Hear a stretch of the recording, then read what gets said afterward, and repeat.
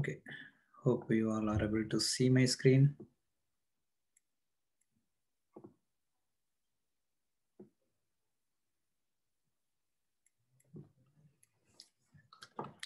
Hey, uh, good evening, everyone. Um, today we are going to discuss about interest rates, uh, especially what is the correlation between uh, bond market and stock markets, um, and also the yields, right?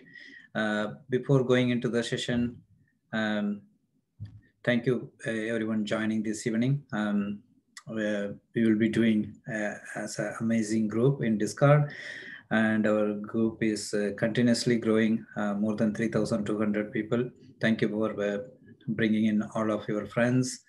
We'll continue to expand in the similar fashion so little bit of disclaimer i am not a financial expert don't advise you to invest in the market any losses that you may incur um, it's not my res responsibility this video is completely for education purposes uh, if you want to invest in the stock, um, stock or anything referred in this video, uh, please check with your financial expert before investing. Okay, we'll move on.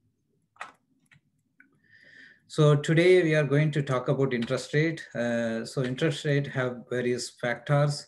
Uh, basically, uh, so these days we are hearing right when whenever the interest rate increases, the markets are going down. Uh, so many of the uh, people who trade in the markets, uh, they might not have an idea like what's happening, uh, why the stocks are crazing, especially the tech stocks. Uh, you you might think uh, there is no clue, like something is crashing, right? So that's where um, I thought of putting putting together as well as some of you were interested in this, uh, knowing how this is impacting the stocks, right? So uh, a little bit of nuances, interest rate is the cost of borrowing money, right? We all know that. How if the interest rate is low, you can borrow more money. If the interest rate is high, you are going to decrease your borrowing.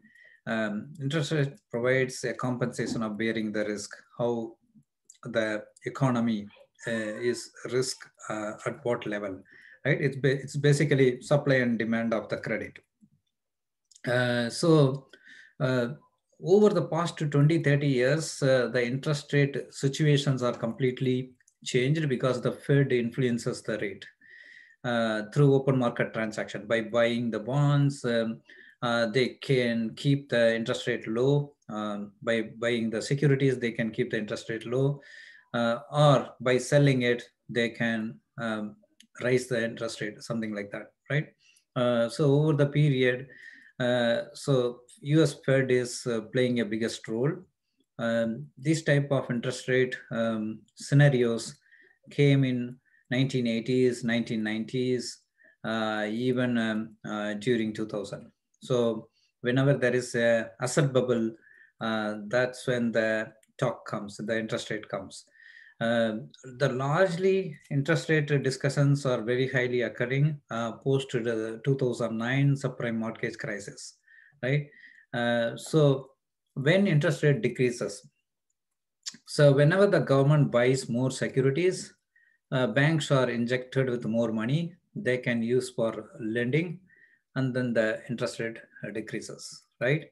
Uh, so it's how government reacts with the buying and selling. If government sells the security, then uh, they try to increase the interest rate, uh, then few, fewer funds are available at the bank. Uh, so basically, which in turn increases the interest rate for uh, lending. Uh, in fact, it forcing a interest rate rise. Uh, right now, if you see Fed is buying every day some 80 billion or something worth of uh, securities in the markets. So that's the reason they're even in the corona economy, uh, the markets are continuously fueling with more money. Uh, it's uh, very interesting to see uh, how Fed is like continuously injecting um, money over the past one and a half years. In fact, there is an estimate saying 39% um, of US dollar created during this corona economy.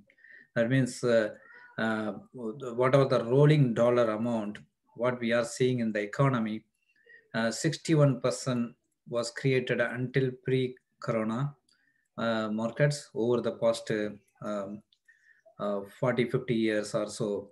And then in last one year, 39% of the dollar was created um, to inject fuel the economy, right? Uh, so the uh, two scenarios when interest rate goes up and down. So now let's go in much deeper, right? Um, how commodities, bonds, stocks, and currencies uh, react with each other, right? Uh, this is very interesting theory. Um, uh, so uh, some of you would, would have went to the US uh, MBA, you could have seen this uh, frequently. This is a big subject when it comes to um, securities, you know. the commodities, bonds, and stocks and currencies all are correlated. When, whenever there is a commodity price rise, the cost of goods moves upward then there is a price action, which is inflationary, right? Uh, whenever there is a inflation uh, comes up, that's what uh, that's when the interest rates rises. So recently, Powell said in the uh, recent meeting, there is a chance inflation to can go up, right? Uh, that's when uh, suddenly the interest rate pop happened, then the market crash happened. so the growing inflation can raise the interest rate. As a result, bond prices falls whenever the bond prices falls, there is an inverse relationship between interest rate and bond prices. If you see, whenever the interest rate goes up, bond prices goes down. Uh, so the below table represents, you see that uh, what are the different correlations? Even currency has an impact on all markets. Whenever the US dollar goes up, then the commodity prices goes down. Uh, then the bond prices goes up and stocks goes up. Uh, likewise, whenever the currency goes down, commodity price goes up, then bond prices and stock prices go, both goes down. In this, in this scenario, the interest rate goes up. Uh, like I said in the previous uh, slide, whenever the interest rate goes up, there is less money available for the banks to lend the scenario. Basically, the idea is uh, all the corporation, the companies which runs through several bonds, uh, they would not have more money to run the company. So that's why the stock, the assumption is the stocks will go down. Uh, larger, even larger corporation, they issue bonds for uh, 2025, bonds for 2030. So whenever the interest rate goes up, then the uh, the attractiveness goes. Basically, uh, the cost of running business goes high, right? Uh, whenever the cost of running running a business goes high, you can see that actually the company is going to generate lesser revenue, right? Um, sorry, lesser earnings, the profits. Even if they rate, um, generate more revenue, they have to pay more interest rate over the period. So it tends to fall, right? Uh, currency has an impact on all markets, but the main one to focus is commodity prices. Commodity prices are the common men use, right? All of the commodities uh, which affects bonds and stocks again. Uh, so if you see uh, US dollar and commodity prices generally opposite direction, this, these two, uh, inverse relation again, uh, how the interest rate and the stock market, right? the same thing, uh, same way, opposite direction. As the dollar declines related to other currencies, the reaction can be seen in commodity prices, right? Uh, so let me move on. So uh, as I mentioned, the bond prices and stocks. Bond prices and stocks are generally correlated to one another. When bond prices begin to fall, the stock will eventually follow uh, to go down as well. Uh, because borrowing becomes more expensive.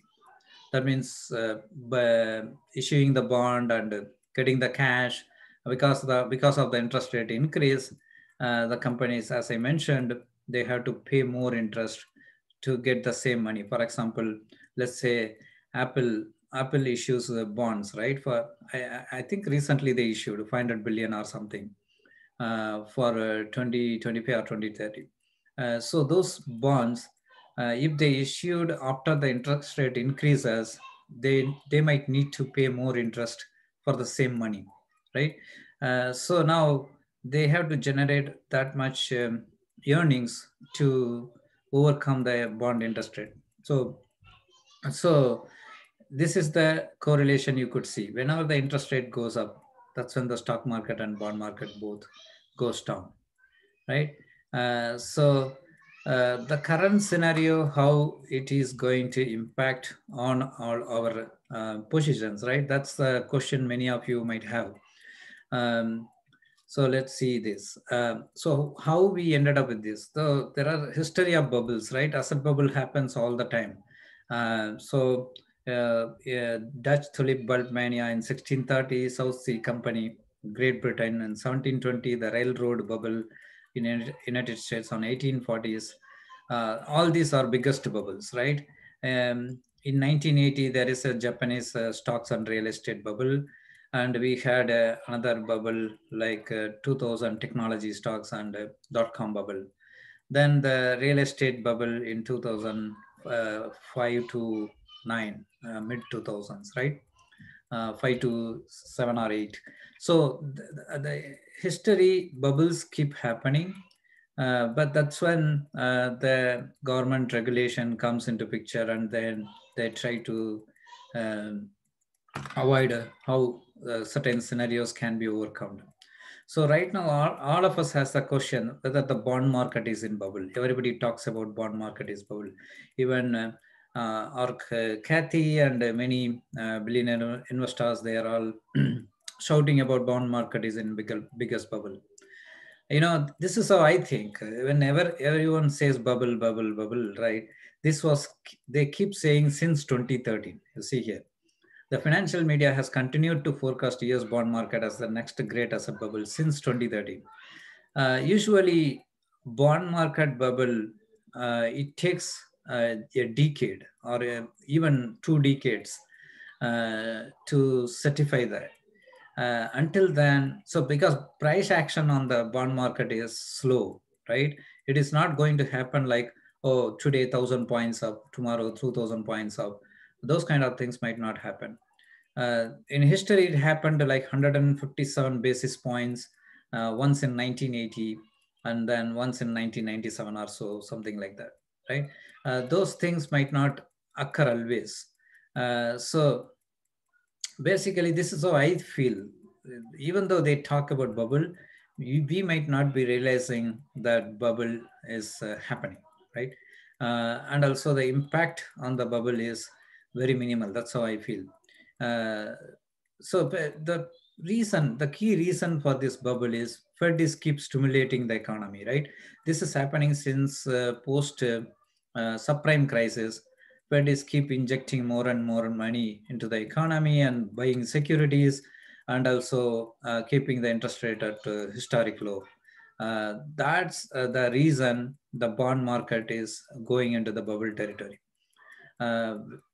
whenever the economy recovers, so you are going to see that. Basically, uh, even now, when we open the reopen the economy, all the businesses are opened.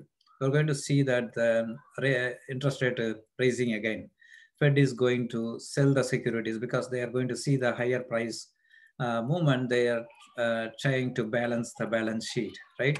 Um, when this happens, then uh, what is happening is the downward pressures on the yield is removed right? The yield will rise back. So the bubble will not happen immediately. That's what I'm trying to say. Uh, so if somebody says, oh, the bubble is happening now, um, uh, something like that, we don't need to worry. Um, I don't think there is a interest rate situation where uh, the yields, 10-year uh, yields rise uh, like um, uh, three, three points, right? that doesn't going to happen, right? even two points, it would take some time, slow and steady. That doesn't go, going to happen in a, uh, what is that, in a short period, basically in a month or so, something like that. If it happens in a month, what is going to happen to the stock market? It is going to crash like anything, 35%, 40% crash. That's uh, that the what, that's what we saw in uh, 2000 dot com bubble or uh, uh, subprime crisis. Uh, so at this point, we are not at that bad situation. I see corporations are performing continuously better and better, and uh, uh, they they are like uh, producing very good results. So with this kind of results, I don't expect uh, like 35% correction crash or something going to happen. Even the uh, February cor correction, uh, if you see the 10 to 12% correction impacted only tech stocks because which is huge, hugely uh, valued, right? The market caps on technology stocks are very, very high. So they try to control the, um, I mean, uh, when the when the interest rate jumped, what happens is eventually uh, investors moved from it's like algorithms, right? Uh, basically, algorithms were uh, these days trade a lot. Uh, so when this kind of news comes up, algos, what happens? It switches the track. So where there is more profit, it moves the investment over there. So even some of the institutional funds automatically take the funds from technology stocks and move it to bond market. That's what happened, right? Uh, so um, this is like naturally, I mean, these are like uh, naturally going to happen continuously, but well, algorithms, it's going to decide back again, what's going to happen is uh, when the uh, interest rate is going to fall down for a, a two, three days, once it reaches the uh, potential moment or potential height, then it is going to switch the in investments to technology stocks then again you are going to see the technology stocks booming. Uh, so this is continuously going to happen back and forth uh, over the next two-three years. We are going to see that, the fluctuation. But overall, I feel like the 2021, the market is going to be positive. Overall, at least 15%, the S&P would return. If you see the S&P uh, and industrial, Dow Industrial, both are at historic high compared to NASDAQ. NASDAQ is only technology stocks, right? If you see S&P, the mix of all of the companies which has performed well and S&P is almost near to year high, right? Um, so right now, uh, 3,900 points. Uh, so I expect at least 15, 20%, like 4,400, 4,500 points by end of this year. Uh, so uh, the rising interest rate also is going to slow down or little bit lower down uh, over the, this summer. That is going to happen. It's not going to continue to rise. Um, for example, if it rises, then it's a big alarm. Um, I don't expect it. It will rise over the period. Basically, even if the economy opens, it's, a, it's going to rise over the period like two years, three years, something like that. Uh, you don't even realize that the rise is going to happen, something like that. Uh, so the bond yield dropped below 2% whenever it dropped, right? Uh, to come back, it, ha it haven't happened. Even in Japan, if you see the last point, that's what I quoted. If, if you see Japan experienced the bond uh, yield dropping below 2%, uh, it's occurred in 1997 and then it haven't regained that level since then, right? Now the bond yield is around 1.75%. I don't think it is going to cross 2% and all. It is not going to happen in uh, at least a, a decade or uh, at least five years. Uh, that's how I see. Until 2028, we are in a bullish market. Okay. Uh, so for the question is bond market is in bubble? Yes, it's in a bubble, but slowest bubble. So it's like uh, now um, uh, Feds and uh, especially U.S. government and Fed involvement, they know what they are doing, right? So they know uh, um, how to sustain the economy, how to make the economy to move into the better position, um, something like that, right? So they always try to uh, influence with the right path. So I don't think uh, uh, no one is going to allow uh, to a bigger crash or something like that, right? Uh, so the impact on near future, none are minor. So that's how I see. Uh, so if you are afraid of the bond yields rising and afraid of um, doing business, then it, it's, it's nothing, basically. it's all temporary. So what I would recommend is invest in long-term stocks, which will save you from any market impacts. Um, basically, when you a uh, lot of uh, retail investors started trading on the volatility. Uh, so the three things I always say to our team, uh, our uh, entire Discord team. so never play shorting a stock, right? Something all we have learned from GME. Uh, never play with your put option. Never play a, a VIX because these are like created for hedges. So if you stay in long-term stocks, you are going to continue to uh, gain more and more. Uh, so with this, I'll take a pause. Uh, uh, if you guys have any questions, we can discuss four, five questions, then um, we can stop recording and move on. If you have any questions related to interest rate or bonds, feel free to Yeah, hello. Yeah. this is Rajesh. I kept my 401k 5%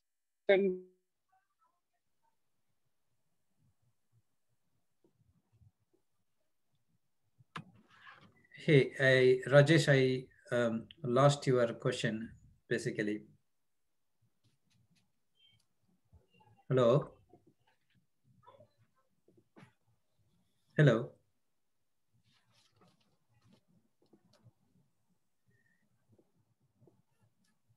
Hello?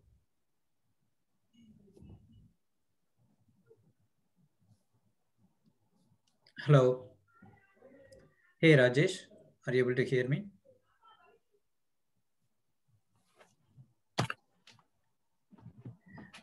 Okay, since uh, I lost Rajesh, uh, uh, he had some question. Hello?